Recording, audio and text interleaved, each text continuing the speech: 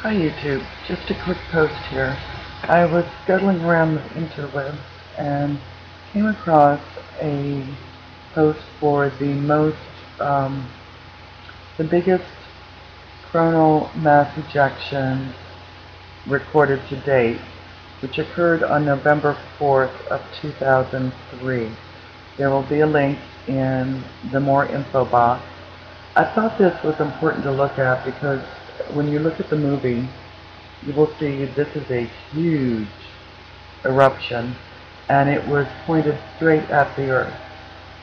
And to my knowledge, the Earth didn't quit moving that day. Um, I haven't looked to see, and maybe some of you would be curious enough to spend your time to look and see whether or not there are any big earthquakes that day. Um, but I, I just thought this was some good information to add to the muddy soup.